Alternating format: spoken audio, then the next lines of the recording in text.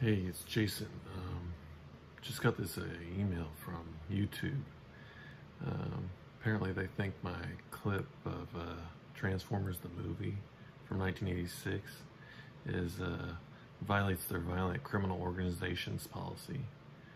Um, I mean, I guess the Decepticons were violent and they were sort of criminals, so I, I mean, theoretically, I guess you could say that their policy violation is correct, but in reality, we know it's a cartoon, and uh, it just goes to show you like how screwed up their uh, detection can be. I mean, this is a cartoon of all things. Anyways, um, I'll put a link up in the corner. I'm not sure. I think this corner uh, to the video itself, but. Just thought it was kind of funny. Anyways, till next time.